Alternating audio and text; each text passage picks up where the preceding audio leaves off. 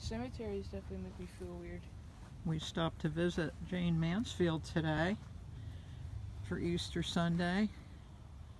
Her stone used to be pink, but it's not pink anymore. People still put little coins on her stone.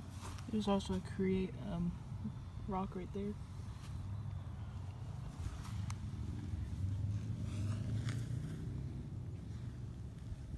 I just noticed that there's more coins on top right there too. Yep.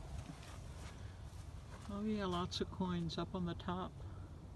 Quarters. It's nice that people are leaving them there now instead of stealing them.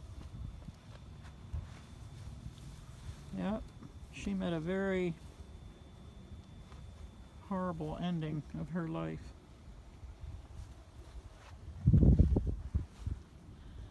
From little old Pen Argyl, imagine that. Happy Easter, Jayne.